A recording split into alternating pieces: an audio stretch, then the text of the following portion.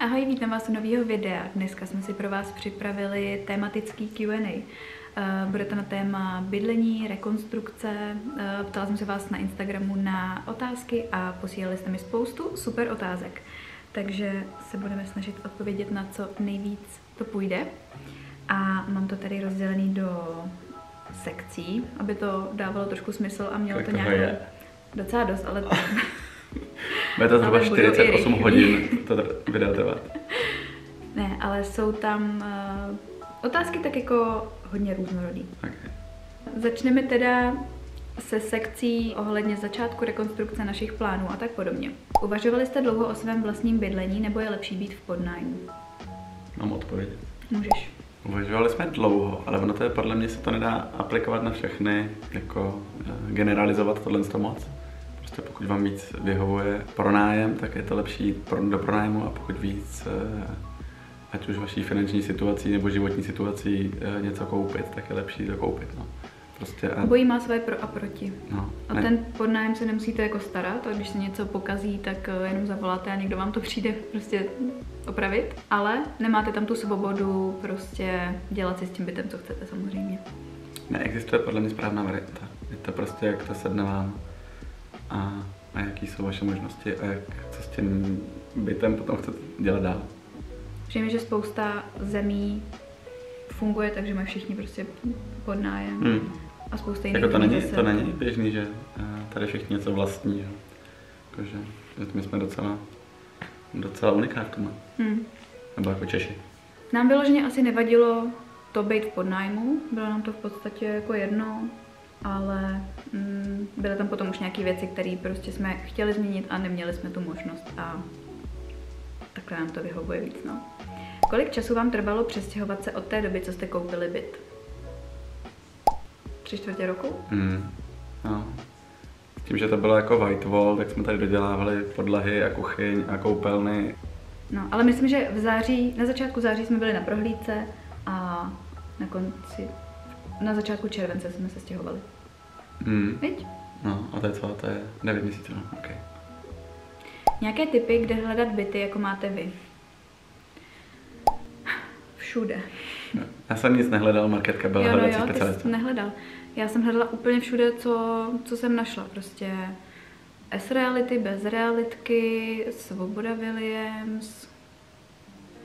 Občas jsem koukala možná i do nějakých facebookových skupin a nakonec no, na nějaký takovýhle klasický realitce jsme ho koupili. Nebo našli. Podle čeho jste vybírali byt, jaká byla vaše kritéria? No, dostatečně velký, světlej, ideálně eh, ne novostavba. Proč ještě něco? No, aby jsme si ho mohli koupit. Jo, aby nestál 50 milionů úplně. No, no, asi nic, my, jakoby podle mě nejvíc, co jsme se, na, na čem jsme se točili, tak byla lokalita a to, aby to nebyl nový barák, protože my jsme prostě staromilci. Mhm. Líbí se nám ty vysoké stropy a, ta, a tak, tak to jsme chtěli, tohle to byl vlastně jediný požadavek a, a pak už se to nějak sesypalo dohromady. Jak to celé finančně zvládnout? Mně na té rekonstrukci jako takový přijde dobrý, že se všechno vlastně zdržuje a že neplatíte to celý najednou, že to prostě, to by byl masakr, že jo? Ale jak se to dělá postupně a postupně ty peníze i vyděláváte, tak je to prostě lepší. no. My jsme si udělali docela hezký takový rodinný cashflow, aby jsme věděli, kolik se kde musí platit. A bylo Vilda to si vedl ze začátku tabulku, pak v nějaký moment jí podle mě přestal vést. Já, když už začalo být hodně, ta rekonstrukce, tak jsem přestal ve tabulku. No, tam podle mě počkej, byla i nějaká otázka. Jo, hned data ta další, jestli jsme se drželi nějakého rozpočtu a pokud jsme se drželi, jestli se nám to povedlo. Mně to přijde rekonstrukce úplně stejný jako se svatbama, že prostě máte na začátku nějaký rozpočet a pak zjistíte, že není možný se do něj vejít. Takže si myslím, že měli jsme nějaký jakoby přibližný limit, ale že jsme ho asi jakoby přepálili, ale zase si nemyslím, že jako nějak Ne, extrémně. no, že Spíš jako tam, ne, jakoby, nebyl to dvojnásobek. no, spíš tam, jakoby, jak to děláte poprvé, tak tam hrozně věcí chybělo. Že jako ten rozpočet existoval, ale prostě nebyly tam věci jako kotel nebo jako, že takový prostě topení, okna. No, jo, prostě řekli, tak jo, takže podlaha, kuchyně, koupelny, hotovo. Bude stát asi tolik. A, a A pak prostě vám dojde, že jako dveře jsou taky docela drahý a no, takže se tam potom že tam nebyly vůbec. A to zrovna je taková položka. No. Takže rozpočet jsme měli. No a nevím, finančně Ale- zvládnout, jakože... A přišlo ti to dobrý mít tu tabulku, jakože doporučil bys, bys to ostatním, aby si to fakt jako vedli? Jo, ježišmarja, určitě. Jakože minimálně pro nějaký zasazení se do aspoň reálí a nějakou kontrolu zpětnou je to dobrý. No a, a finančně zvládli, nevím, no tak využili jsme všechny možnosti, co šly a, a nějak se to podařilo, no. A, a vlastně ještě jsme chytli tehdy tu levnou dobu hypoték, což vlastně docela bylo, No, bylo teď je to asi o dost náročnější. Přišlo mi, že jsme to stihli tak jako za 5-12 a pak to začalo prostě hrozně narůstat. Takže za nás je výhoda dělat to jakoby postupně. My taky máme ještě nějaké věci, co na bytě nejsou hotové a nepotřebovali jsme se přestěhovat do úplně dokonale hotového bytu, protože to by samozřejmě jako zvedlo tu cenu a vyhovuje nám takhle z toho jakoby ještě postupně dodělávat, aby to prostě nebyla tak obrovská pálka jakoby naraz. Jo, donedávna tady koukal kabel z toho. Nad jiným zdi. stolem. Co bys poradila někomu, kdo se chystá rekonstruovat? Obrnit se nervově a najít si hodně dobrý lidi, mm. spolehlivý. To je velmi, velmi, velmi důležitý. A ideálně si je zasmluvnit. A prostě dát si nějaký pevný termín a pokuty, jakmile to nebude, protože to my jsme neudělali a taky to tak dopadlo, jak to dopadlo. A mít nějaký hezký plán, jako plán, vědět, co se děje. A fakt si to radši pětkrát s někým, kdo to už někdy dělal, projet, ať se vím, jako, že něco bylo vlastně nej, nejnepříjemnější, tak když jsem sem chodil za těma lidma, co se tím živějí. A já jsem viděl prd, jako bez konzultace jsem za nima šel. A vlastně nebyl jsem schopný jim oponovat v momentech, kdy, kdy jako oni mi něco představovali. A já jsem viděl prd, tak Hmm. jsem jako tady ty momenty byly jako divoký, jak jsem vždycky pak někom, někam volal, jakože kamarádovi, jestli to je v pohodě, nebo jestli je mám odmítnout a tak, tak vlastně jako možná je lepší tady tu pasáž jako předřadit a poradit se o tom s lidma už předtím a jít tam se s tím plánem, už takhle na střelce, jakože, Mm. že až tady, když už tady jsou jako pou, tak se s nimi domluváte, co a jak, tak to bylo takový. My jsme to dělali všechno trochu na paměť, takže jako pokud máte ten čas před tím začátkem rekonstrukce si to opravdu jako všechno dobře najít, rozmyslet, poradit se s lidmi, co tomu rozumí, tak je to určitě lepší. Na čem jste rozhodně nechtěli šetřit a na čem jste naopak byli ochotní polevit? Nechtěli jsme šetřit na podlahách, Hmm. na kuchyni, Hmm. No, podle mě jsme obecně nechtěli šetřit jako na vy- vybavení toho bytu, protože když jdete do takového jako starého baráku, tak jsme chtěli, aby to mělo jako hezký, pevný, dobrý, kvali- pořádný. kvalitní věci, které vydrží. No. Aby jsme to nemuseli prostě za pět let dělat od znova. Takže máme prostě dřevěnou podlahu, dveře od truhláře a takovéhle věci.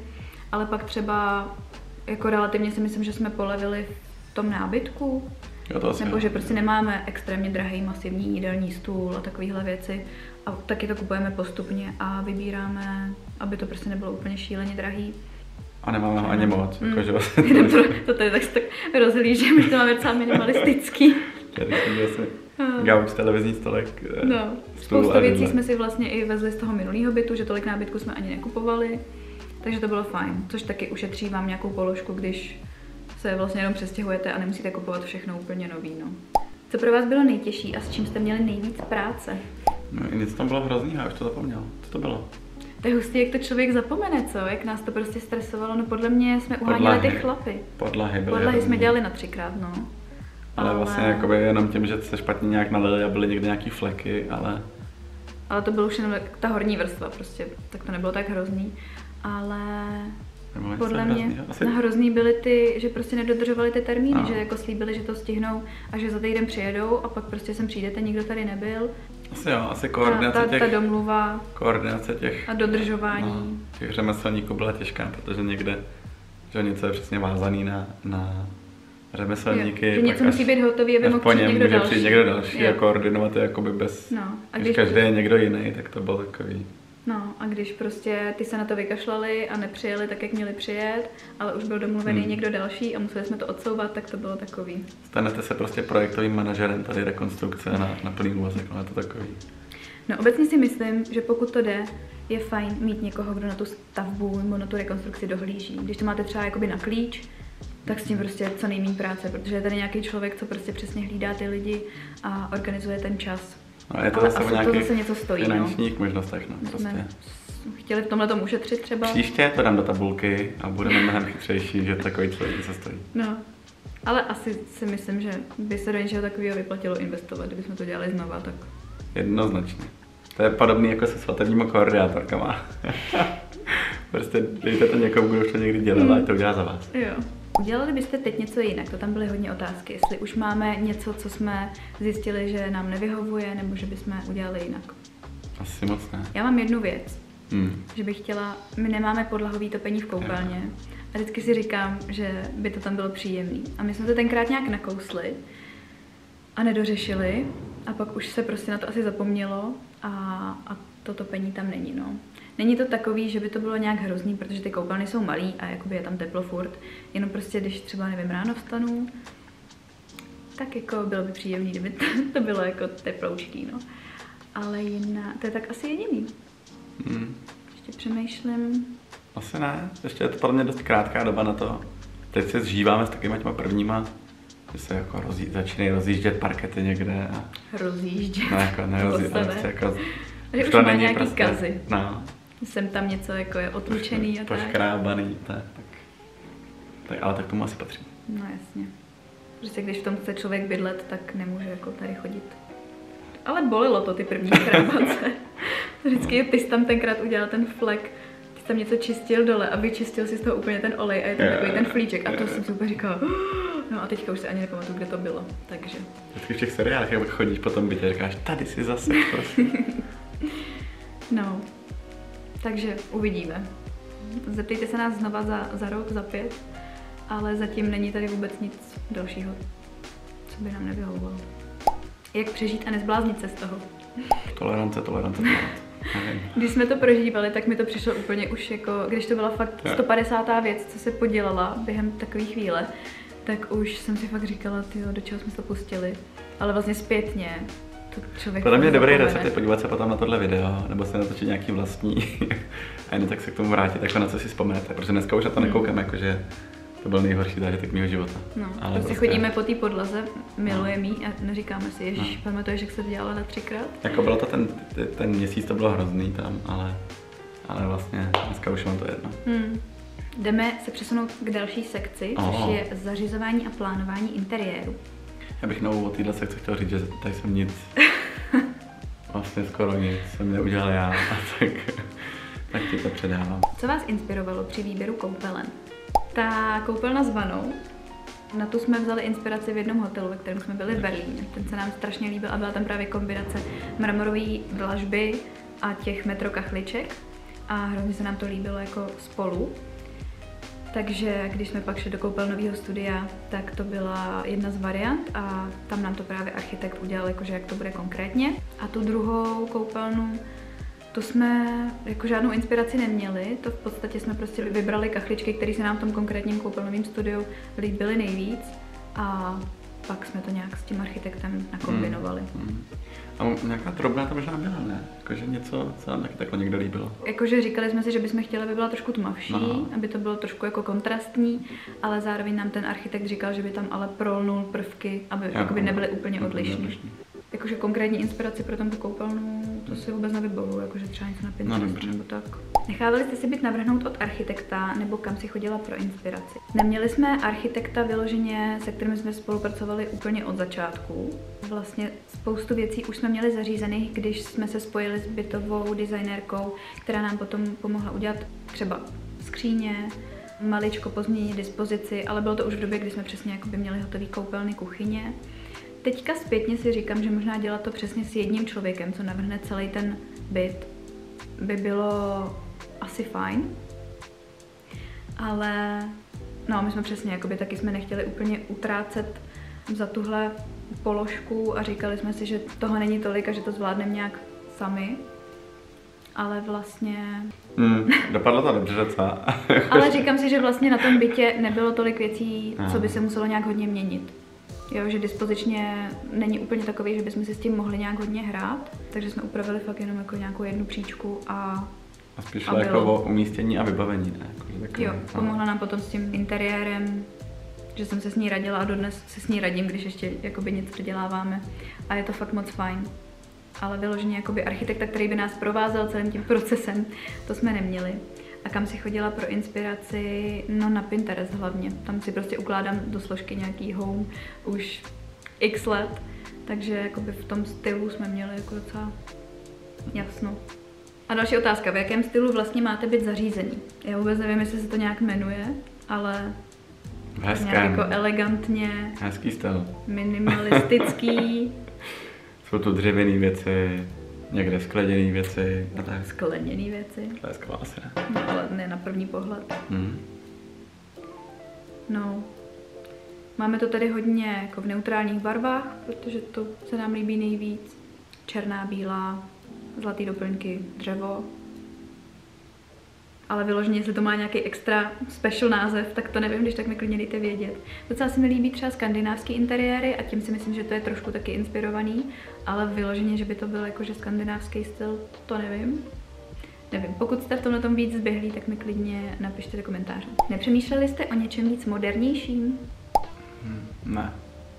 Nám se to moc jakoby nelíbí, takový to, mm, jak se teďka hodně dělají kuchyně prostě bez úchytek, takový ty hodně plochý a dveře plochý. A, My jsme staromilci. mm, hlavně do tohohle bytu by to ani nehodilo, takže nepřemýšleli. My jsme vlastně ani nikdy nebydleli jako v extra moderním bytě. Mm. Možná ten první, ale taky nebyl nějak jako extra super, že jsme vždycky hledali prostě podobný styl i těch podnájmů. Váš nejoblíbenější obchod s nábytkem? No řekla bych, že naprostou většinu nábytku máme z Westwingu. Pak asi IKEA klasicky na nějaký takový ty, nevím, třeba do dětského pokojíčku mi to přijde super. A pak máme věci od truhláře. Jinak skoro, no nemám ani zkušenost s žádným dalším, jakože neobjížděli jsme Koukám tady kolem sebe a to je všechno buď Všechno Westwing. Westwing nebo IKEA. Nebo IKEA, koberec máme z IKEA. No, takže kombinace těchto dvou asi. Sekce kuchyň a koupelny. Kachličky v kuchyni údržba, čištění, odolnost. Na to se mě ptá někdo hodně často, jak se udržují v kuchyni ty bílé kachličky s bílýma spárama a to samý v koupelně. K tomu asi máme co říct oba, protože ty taky uklízíš kuchyň. Ano. Nevím, přijde mi, že dobrý, eh, No. když, když tam nevystříkáš to kary žlutý. Jakože když tam něco kontrastního takhle eh, ucákne, tak je to takový jako... No ale jde to utřít. Je to triky, ale vlastně jinak to i z toho smaltu, i z toho, z těch kachliček jde krásně pryč. Hmm. Takže ano, má jednoduše houbičkou Mně to a taky právě nepřijde vůbec náročný. Ani ta kuchyňská deska, ani no vlastně nic. Že hodně lidí mě od toho odrazovalo, že to prostě bude úplně šíleně náročný na údržbu, ale po tři čtvrtě roce mi přijde, že vůbec. A někdo se mě ptal na bílé kachličky v koupelně, že mají ty stejný, ale mají v koupelně okno a že se jim tam pořád práší a že je musí neustále mít. Hmm.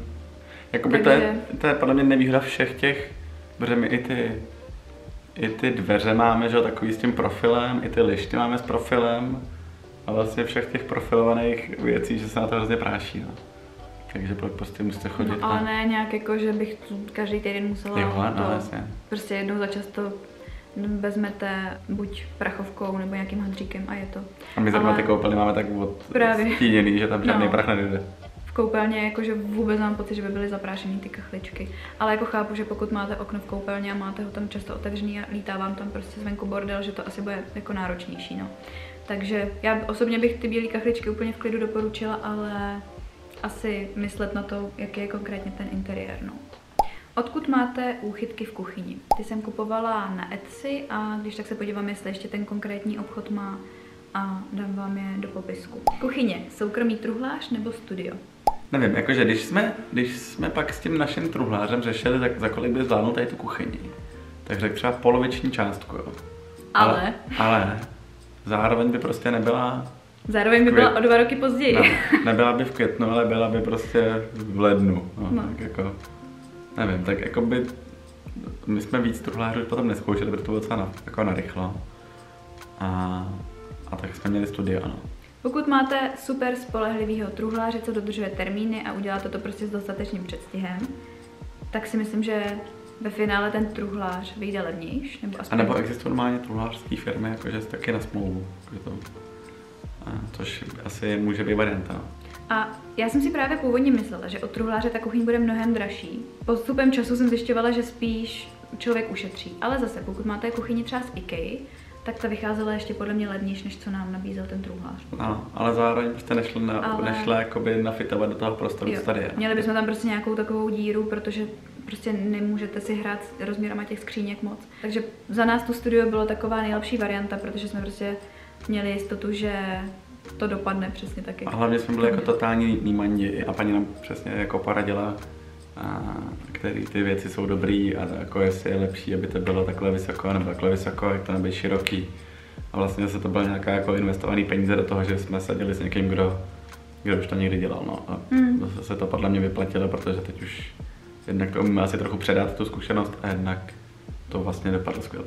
No hlavně to bylo včas. A bylo to včas. to byla snad jediná věc, co byla včas.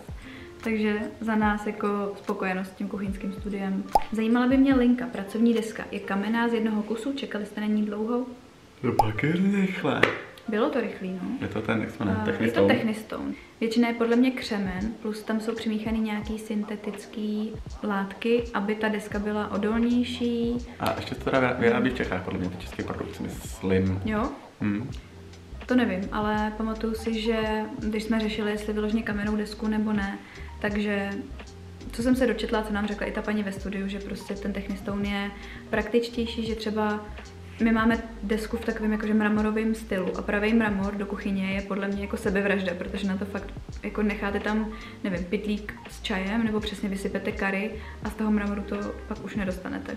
No, takže nám to přišlo fajn varianta, že vlastně je to skoro skoro přírodní, nebo je to, uh, má to skoro stejné vlastnosti, jenom ještě nějaký navíc a vypadá to úplně jak kámen. A byl to docela fofr, podle mě třeba jako do tří týdnů od toho zadání oni to měli. Jaké značky máte zlaté baterie v kuchyni a koupelně? V kuchyni máme grohe Hmm. a zbytek nevím. Jaký rem, remmer? Remer, podle mě. Ale zrovna řešíme, že nevíme, jestli to vlastně úplně dobrý, protože eh, nikomu to nešlo pořádně napojit na ty hadičky a, a každý instalatér. eh, Každý ten jeden, co nám to tady dělá. Dva to byly podle mě už. Jo? Hmm. Tak se na to nadávali, že jako to není úplně to, tak, eh, tak, tak je to hezký, jako moc hezky to vypadá. No, dobře se s tím spruchuje. A dobře se Jenom jim to nějak nešlo zapojit, no. Jenom je to složitější než nějaký normální. A ta zlatá je taková, že po každý zlatá může být jiná, než oni to na- nastříkávají. Tak je to takový risk. A naštěstí to tady, tady, tady to naštěstí vyšlo docela. Ale ta grohe je super. Tak rohe bombová. To je dobrá značka na baterie, to doporučujem určitě. Jak jste spokojeni s keramickým dřezem? My nemáme keramický dřez, ne? Ne, Máme granit. Granit. Takže keramický vůbec nevím, Hmm. jakože porovnání v čem je ten náš jiný. Ten granit je asi odolnější, ne? Jakože Hmm. keramika se může rozbít. A zároveň lehčí. A je to super. Jsme spokojení moc, Hmm. to určitě doporučujeme. Chci se zeptat na kamennou desku v kuchyni, jste spokojení a kolik stála? Jo, takže to už jsme říkali, že jsme spokojení a kolik stála. Máme 3 cm tloušťku. A byla to jako velká položka v té kuchyni, podle mě. No, něco jako 70 tisíc. Hmm. Jo. No, je, jakože asi nejdražší věc na celé té kuchyni byla určitě deska. Ale zase já jsem strašně spokojená s tím, s tím Technistonem. Že Hmm. přijde mi, že se to fakt vyplatí, že vydrží podle mě strašně dlouho na věky. Hm? Je to prostě taková pořádná deska, no. Ve srovnání jsme předtím v tom minulém bytě měli laminát, se to Hmm. a je to úplně jiný zážitek, no. Jsou zlaté doplňky náročné na údržbu, baterie, kliky, sprchy. Za mě vůbec. Nebo určitě jsou méně náročný než takový to lesklý stříbro, co jsme měli v minulém bytě. To prostě tam zaschne kapka a je to okamžitě vidět. A na té zlatý to jako tolik vidět není. Ještě podle rozdíl, jestli matná nebo lesklá. Hmm. Ty kliky Já jsou... ty kliky si tolik ne, neprohlížím, No, ale nepřijdou mi špinavý. no, a ta matný zlatá je jediný, co tak podle mě ve sprše trochu je, k tomu to kapel.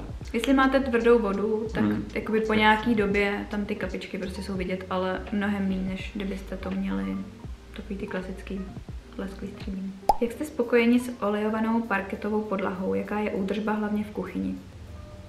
Pohodě. Něco spadne, tak to utřete a jedete dál. No. Nevím, jakože... eh, To má- chodí mi dotazy Fakt? no, na, na Instagramu, jestli v té kuchyni jestli se to dá s těma parketama, že se prostě hrozně bojí, že tam něco vylijou a už to z toho nedostanou, ale musím zaklepat, za tři čtvrtě roku ta kuchyň, nebo ta podlaha v kuchyni je úplně stejná jako všude jinde. Dostali jsme to nějaký přípravek, tak jednou za půl roku to máme udělat, nebo za dlouho. To máme potřít tím přípravkem. Jakože když vytíráte, tak jenom, že to k tomu A jinak přijde. prostě vodou to umyjete cokoliv, podle mě. Hmm. A i takový různý zaschlý jídla, takže vlastně... Mně to přijde docela jako prakticky na úpravu. Hmm. To úplně že jediný, co trpím, tak prostě teď, jak postupně to začínáme používat víc a víc. Jsou tam různě jako ťukance od toho nábytku, tak už takový... Ale to máš na každý Já podlaze. vím. Třeba na Ideálně bych na měkčí podlaze to vidíš ještě mnohem Ideálně bych po ní nechtěl chodit, jsme si vytvořili nějakou ještě nadvrstvu. jsme chodili jenom. Ne, jako na údržbu je to podle mě super a vydrží prostě taky strašně dlouho ty parkety. A pak se na tom klouže. Sekce, jak se nám bydlí. Co byla nejlepší investice? Asi možná ten truhlář. Jakože trvalo to, ale tím, že tu jsou vysoký stropy a takový jako komplikovaný prostory, tak jako využijeme ten, to místo úplně na do mrtě. Že Vlastně jako i v té šatně, i v té předsíni máme prostě do, až do stropu obrovský skříně, který jako prostě využívají ten prostor úplně do, doplno. No. Že to je takový, že jsme tam mohli postavit nějakou normální skříň a mít tam díru na tom nahoře. Hmm. A tohle je vlastně takový jako hezká práce s prostorem. Hmm. Za mě asi i ta podlaha, ale Jo to jo, to určitě. je to prostě, prostě když chodíte po dřevě, to podle mě nic, nic nedokáže nahradit ten pocit. A když se kloužete po dřevě. Ty se tady kloužeš. No, hrozně vždycky. Jo. Mm. V které části bytu se cítíme nejlépe a proč? Asi tady, kde sedíme. Na gauči. Mm. Že to je takový, takový střed toho bytu vlastně. Mm. A trávíme tady nejvíc času, což si myslím, že jako asi každý tráví v tom obýváku nejvíc času. No, tady takhle takový ten společný prostor, jakože obývák, jídelna, kuchyň, to máme, dejme tomu propojený, tak je to, no, tady jsme Hmm. furt. Slyšíte sousedy? Hrozně málo. No, skoro vůbec. Jakože jsem čekala, že budeme slyšet mnohem víc. Takže To je podle mě ale taky výhoda toho, že to není jakoby novostavba, že ty zdi se podle mě dřív dělaly prostě tlustší a já ty, zdi- ty zdi jsou obrovský někde, no. Jakože jenom my tady máme prostě půlmetrovou zeď uprostřed toho bytu, jako obrovskou. Ale takže neslyšíme. skrz nějaký ty šachty občas slyšíme, když někdo bouchá do topení, tak taky. Ale, ale vlastně jinak skoro ne. Hmm. Jaké máte drobné vychytávky a speciality v novém bytě a jsme za ně vděční? Nejvíc používanou podle mě je ten té kuchyňské baterie, ta sprška. Jo, ježiš, to je To je úplně boží. Pokud máte hluboký dřez, tak baterie, kterou si můžete prostě vyndat a osprchovat všechny ty stěny, to je úplně super. Za mě další věc, výsuvný koše, které jsou rovnou rozdělený na tříděný odpad. My jsme předtím měli prostě takový hrozně velký koše, který se jako špatně se s nima manipulovalo, že když jsme chtěli něco vyhodit, tak jsme museli všechny ty koše jakoby sundat, No, bylo to prostě takový složitější. A teďka vždycky jenom máme to pod řezem, vyšoupneme to, vezmeme koš, vyneseme a je to. Takže to je super. Pak, že jsme si udělali samostatnou část skříně vyloženě na, na věci do domácnosti. A mysleli jsme na to právě předtím, než jsme začali tu skříň navrhovat, že by bylo fajn tam mít nějaký uložený prostor přesně na žehlící prkno, sušák, no takový ty blbosti, co prostě předtím nikdy nevěděli, nevěděli kam dát. Tím, že jsme prostor, který tady původně byl jakože technická místnost, tak jsme ho využili jako šatnu, takže jsme potřebovali tady ty věci někam dát. Takže na to máme speciální prostě prostor, je to super. Mě jako největší vychytávka přijde ta technická šatna. Jsem vždycky pišný, že jsme dokázali přemýšlet aspoň do měsíce dopředu. Máte sušičku? Nemáme. Vilda, prosím vás, napište mi někdo do komentářů, jo? Protože Vilda mi to nevěří. Mě všechny kamarádky tvrdí, a četla jsem to i prostě na internetu. Takže je to máte- pravda. Že když máte sušičku a pračku v jednom, že to není dobrý, že ta pračka prostě, že vlastně nedělá ani jednu věc pořádně a že je lepší mít sušičku odděleně a pračku odděleně. Sušička se nám jakoby nad pračku už nevejde, protože tam máme kotel. Ale máme na ní prostor teoreticky jinde, takže o tom uvažujeme. Ale Vilda mi pořád tvrdí, že prostě ať to koupíme v jednom stroji, tak jestli někdo máte zkušenost, tak mi napište, jak to vidíte, protože já fakt neslyšela jsem od nikoho, že je dobrý mít pračku a sušičku v jednom. A co mi to zničí? Jako No, moje... že, že to jakoby dobře nepere a zároveň tři- dobře 34 černých triček a 28 bílých triček. A ty se můžou perfektně prát i sušit. Ve No, stejném, ale že prostě ve pračka a stejném stroji. Fungují jakoby na jiném principu a že to prostě není dobrý. To Ano, rozsuďte nás v komentářích. Jo. Napište nám prosím. Takže a sušičku nemáme, ale A teoreticky. ideálně, pokud jste někdo třeba měli tu pračku a sušičku nejdřív v jednom a pak jakoby odděleně a máte to porovnání. Hlavně, hlavně ti se špatnou zkušeností nám pište do komentářů.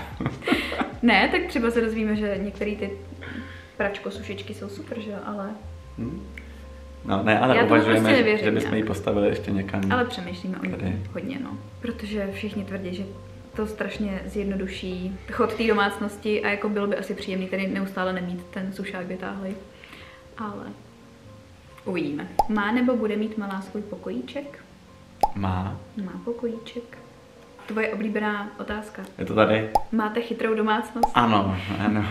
No to je Vilda pišnej, tak vám o tom teďka ne, povypráví. Zas tak chytrou ji nemáme, máme chytré žárovky a chytré termostaty a to je všechno, co je tu chytré. Tak jsme tu my dva.